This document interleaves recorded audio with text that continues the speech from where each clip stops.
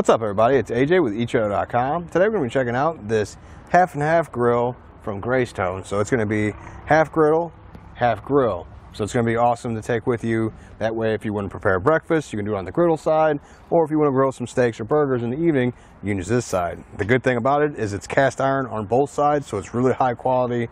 It's going to be great to cook on. Let's check it out. You can see the griddle side and the grill side. I like that it's side by side that way you don't have to switch anything around compared to the other one we worked with. There's another Greystone one that was a grill on the bottom and you would set the griddle on top to actually use it. That was nice, you got a little extra room, but the thing that I really like about this one is that both parts of this are cast iron, so I really like cooking on that. I think that's gonna just make everything taste better, so I prefer that I have the cast iron griddle, or grill and griddle whenever I need them. Now, like I said, I said you got a little bit more room out of that other one. Let's go ahead and measure the griddle and see how much room we actually have to work with. So from side to side, we're gonna go inside to inside. It's around 11 and a half inches. And from front to back, it's right there at 16 inches. So they're gonna both be the same. So that's how much space you have on each one. Some of the things you might notice is the splash guard on here on the side. That just keeps anything, if it's popping or in, it's gonna just keep that on the inside and not shoot out to the out. But it also, when in use, easily just folds in. So that way, if you need to set it in a compartment that might not be tall enough, you can get that down and take down some of that height. If we come around to the front, you can see this is where all the grease and gunk are gonna go, down in that hole on the griddle. And then this is the grease trap here. You can take that and get rid of it. And then on the bottom, for the whole thing, you got this grease trap here too. So you can slide this out. Seems like it's caught on that side.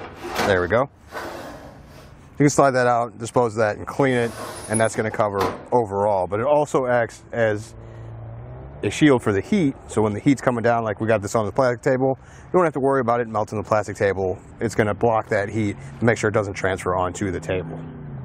Around back, you can see the vents.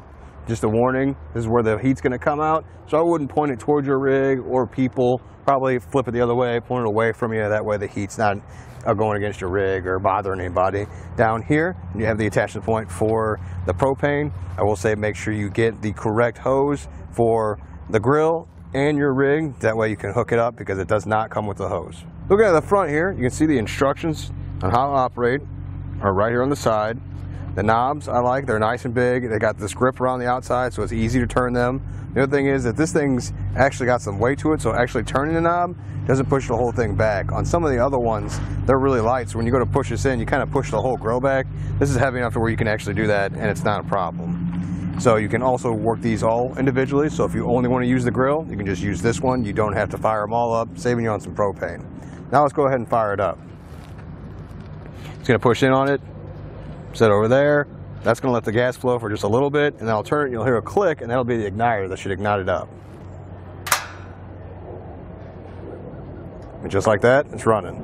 Overall, I was pretty impressed with the grill. You know, going into it, when I worked with a few of the other Greystone ones, I didn't like the fact that it was half grill and half griddle. I thought that was kind of wasted space, but after working with this one, I kind of like this better. I don't like switching out that other part to use the griddle. The griddle's right here installed, and like I said earlier, I just prefer cooking on cast iron, so I think this is just gonna work overall a lot better.